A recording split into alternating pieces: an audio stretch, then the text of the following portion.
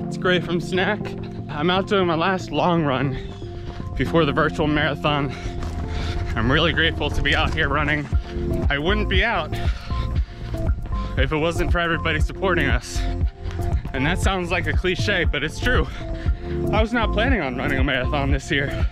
All the races are canceled, so I wasn't totally in marathon shape a couple weeks ago, and I think we're getting there now. And uh, thank you, thank you, thank you to everybody who's been supporting us, um, because me and Wanda and Caitlin have been busting our butts, and it does hurt. Um, so any support that you guys can give us really does help, and it means a lot. Um, cool, so the next time I see you all will be on race day, okay? Wish us luck, bye.